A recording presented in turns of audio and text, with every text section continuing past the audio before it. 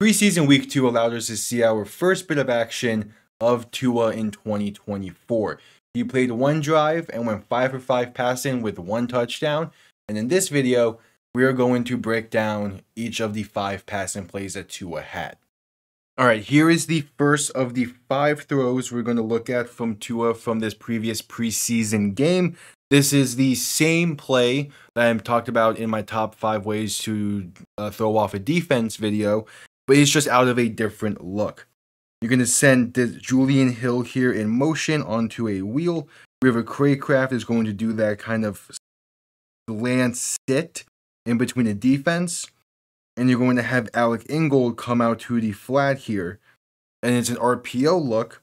So you're having a running back taking an inside zone possibility. The main thing that gets red here, at least from what I believe two is red, to a red, is these two linebackers. They both sat and they both sat in the middle of the field preparing to come up and stop this run. So what Tua decides to do instead is just hit Cracraft over the middle of the field in this window here that they leave, and it picks up 16 yards on the fir- on the first play of the drive and the first pass for Tua.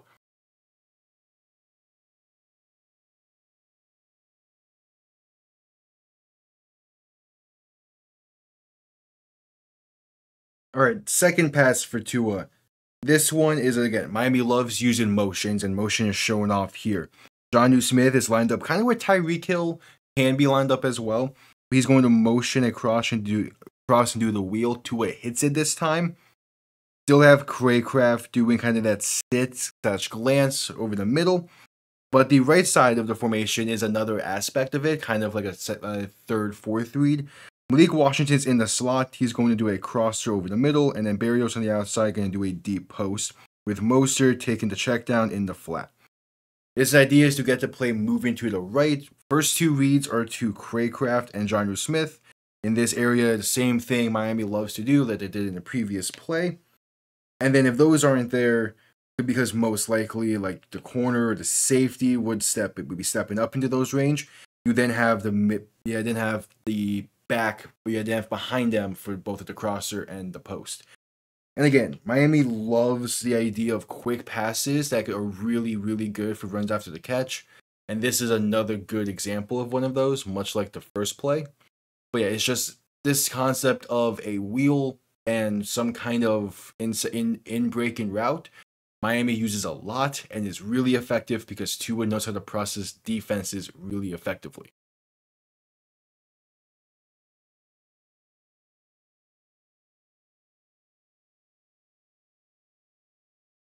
The third play here is less about kind of actual play design and what went into it, and more just about how important having a guy like Jonnu Smith is going to be for Miami this year.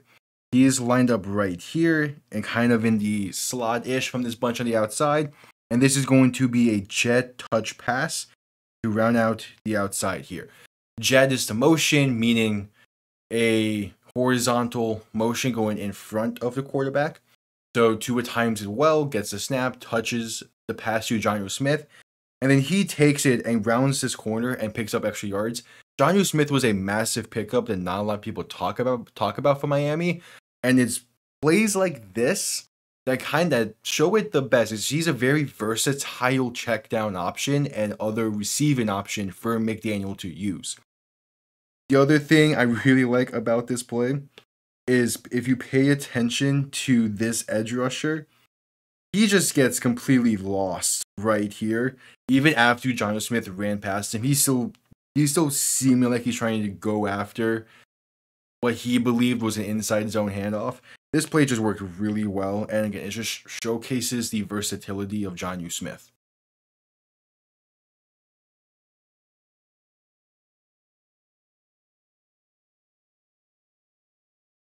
All right, here is the fourth throw Tua completed from this game. And really, it's just a good showcase of kind of why you want someone who can throw from any arm angle and kind of have a little more, not to say mobility, but just more, more awareness, I guess you can say. It's going to be a play action to the left side here. And when it comes to the route tree, you're going to have this tight end Durham Smythe go in motion to kind of pretend to be a lead blocker for the fake. And that's where you get Malik Washington doing a deep corner. You have Cracraft going a crosser. And then you have Julian Hill doing a block and release route to the flat. That's where Tua ends up going because as he rolls out, Julian Hill is going to release from his block, and Tua makes a really nice sidearm throw to him for a nice pickup. Not a lot really is like being showcased when it comes to like genius play calling. This is a, kind of a very common levels concept where again check down options so it's three and kind of either like one or two. We kind of go back and forth between those, but it's it's levels concept, and levels essentially the levels to it: high, medium, and low. And Tua does a good job getting the ball out in time, throwing with a different arm angle, and picking up a good chunk of yards for Miami.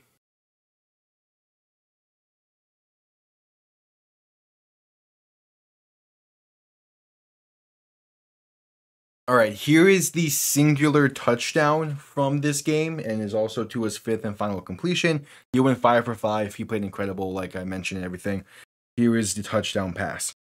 So the ball is going to be thrown to the right side with, with River Cracraft, but before we talk about that, let's talk about the left side of this play. Is also done really well. Berrios is in the slot. He's going to do a sit over the middle. Malik Washington on the outside is going to do a deep crosser kind of like at the goal line here. So kind of a back shoulder in. And then you're going to have both Jonnu Smith and Raheem Mostert doing almost swing routes to this outside. And the idea is if the ball is thrown to Mostert, you have Jonnu Smith to be a blocker, almost as if this was a, a some kind of bubble screen. It's done really well. McDaniel in Miami did a play similar to this last year against Carolina, where instead of it being set up like this, they actually sent the tight end in an motion to set it up. It's again, it's great. But the focus of this play is the absolute beauty of a throw by Tua to River Cracraft, who's going to do a fade route towards that back corner. This ball is thrown with great anticipation, drawing this like good old the QB school. And yet, great anticipation on this throw. Tua throws this while Cracraft still hasn't beat the corner, but he has trusted he's going to, and he does. Balls placed perfectly, and this and this is the game-winning touchdown as Miami took the lead and never looked back.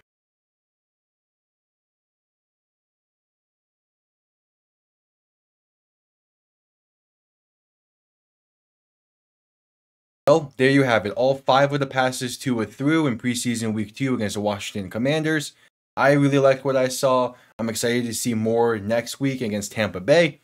And I'm also excited for the season to finally start. If you are new, make sure to leave a like and subscribe. It would be greatly appreciated. And comment down below kind of just anything you would want. Maybe uh, suggestions for any other quarterbacks you would like to see me break, uh, kind of yeah, breakdown or review for this preseason any suggestion is I'll be any suggestion is appreciated. But yeah, I'll see you on the next one. Have yourselves a damn good one. Peace.